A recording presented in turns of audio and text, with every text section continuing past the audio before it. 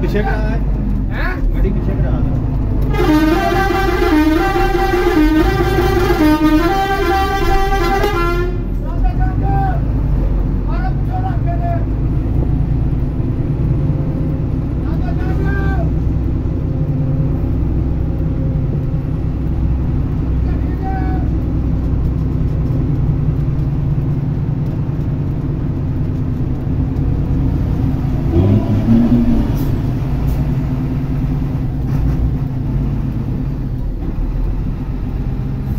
ਸਿੱਧੀ ਕੀਤੀ ਇਹਦੇ ਗੱਡੀ ਕਿਸ ਹਿਸਾਬ ਨਾਲ ਸਿੱਧੀ ਕੀਤੀ ਤੂੰ ਵਨਵੇ ਕਰ ਕੀਤਾ ਮੈਂ ਕਿਹਾ ਗੱਡੀ ਮੇਰੇ ਨੂੰ ਕਿਸ ਹਿਸਾਬ ਨਾਲ ਸਿੱਧੀ ਕੀਤੀ?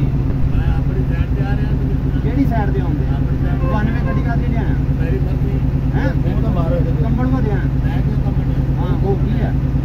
ਗੱਡੀ ਤੂੰ ਜੋ ਪਰਲੇ ਪਾਸੇ ਲਿਆਉਂਦਿਆਂ ਦੇ ਸਾਹਮਣੇ ਕਾਹਦੀ ਕਰਨਾ ਪਿਆ ਮੈਂ ਤੇਰੇ ਸਾਹਮਣੇ ਆਪਣੀ ਉਮਰ ਦਾ ਲਿਹਾਜ਼ ਵੇਖ ਤੇ ਚਿੱਟੀ ਦਾੜੀ ਵਾਲੇ ਵੇਖ। ਅੱਛਾ।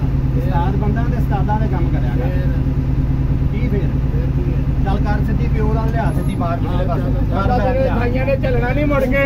ਯਾਰ ਸਿੱਧੀ ਫਿਰ ਫਰ ਪਿੱਛੇ ਸਿੱਧੀ ਕਰ। ਤੂੰ ਪਿਓ ਦਾ ਸਿੱਧੀ ਕਰ ਪਿੱਛੇ। ਲਿਆਉਣੀ ਹੋ ਨਹੀਂ ਮੈਂ ਇੱਥੇ ਖਲੋਤਾ ਤਾਂ ਉਧਰੋਂ ਲਿਆਉਣੀ ਹੋ ਲਿਆ ਸਿੱਧੀ ਕਰ ਪਿਓ ਨਾਲ। ਕਰ ਸਿੱਧੀ ਲਿਆ ਉਧਰ ਪਿੱਛੇ। ਤੇਰੇ ਸਾਈਆਂ ਨੇ ਤੇਰੇ ਮਗਰ ਨਹੀਂ ਆਣਾ ਬਾਬਾ ਪਿੱਛੇ ਕਰ ਲਿਆ ਸਿੱਧੀ। ਇਹਨੇ ਹੈ ਆਪਣੇ ਪਿਓ ਨਾਲ ਪਿੱਛੇ ਕਰ ਸਿੱਧੀ ਲਿਆ ਮੈਂ ਕਹਿੰਦਾ ਵੀ ਤੂੰ ਪਿਓ ਦਾ ਲਿਆ ਕੇ ਸਿੱਧੀ ਕਰਨੀ ਮੈਂ ਨਾ ਵਿੱਚ ਮਾਰੇ ਮੈਂ ਪਿਓ ਦਾ ਨਹੀਂ। ਤੈਨੂੰ ਮੈਂ ਪਰ- ਪਰਸੋਂ ਤੇਰਾ ਚਾਹ ਪੂਰਾ ਕਰ ਦਾਂਗਾ ਤੂੰ ਸਿੱਧੀ ਕਰ ਪਰਸੋਂ ਕਿੰਨੇ ਵੇਖੀ? ਪਿੱਛੇ ਕਰ ਸਿੱਧੀ ਕਰ। ਅੱਜ ਅੱਜ ਹੋ ਗਿਆ ਚਾਹ ਪੂਰਾ। ਆਜਾ ਹੁਣ ਤੇਰਾ ਭਜਾ ਲੈ ਕਰਨੇ ਚਿੱਟੀ ਦਾੜੀ ਦਾ ਤੂੰ ਕਰਾਣੇ ਕਰਨਾ। ਤੂੰ ਕਿੱਧਰ ਹੋ ਗੱਟੂਰੀ ਨਹੀਂ ਲਾਉਣ ਲੱਗਾ ਇੱਥੋਂ ਤੱਕ। ਮੈਂ ਤੈਨੂੰ ਇਹਨਾਂ ਦੇ ਵਿੱਚ ਕਿਵੇਂ ਮਾਰਨਾ ਉਹ ਚਿੱਟੀ ਦਾੜੀ ਨਾਲ ਠੁੱਡੇ ਖੜੇ ਤੁਹਾਡੇ ਕੋਲੋਂ।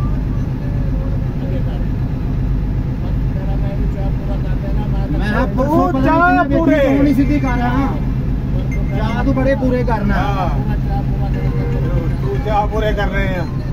ਦਿੰਦਾ ਇੰਤਜ਼ਾਰ ਕਰ ਕਰਕੇ ਆਏ ਉਹਨਾਂ ਆ ਨੇ ਤੇਰੇ ਮਗਰ ਨਹੀਂ ਆਣਾ ਜਿਹਨਾਂ ਦੇ ਉੱਤੇ ਮੱਛਰ ਨੇ। ਆ ਤੂੰ ਹੁਣ ਅੱਗੇ ਕਰਨੀ ਹੈ ਕਿ ਕੀ ਗੱਲ ਹੈ ਥੱਲੇ ਆ ਯਾਰ ਉਹ ਤੈਨੂੰ ਦੱਸ ਦਿੰਦੇ ਥੱਲੇ ਆ। ਤੂੰ ਨਹੀਂ ਕਰਨੇ ਤੇ ਖੜੇ ਰਹਿਣੇ ਫਿਰ। ਚੱਲ ਵਨਵੇ ਲੈ ਕੇ ਉਹਨੂੰ ਪਿੱਛੇ ਕਰ। ਖੜੀ ਰਹਿਣ ਦੇ ਆਪਣੀ ਕਰਤੂਤ ਨੂੰ। ਕੰਨ ਖਲਾਉਂਦੇ ਖਲਾਉਂਦੇ ਖਲਾਉਂਦੇ ਲੈ ਆ ਵਨਵੇ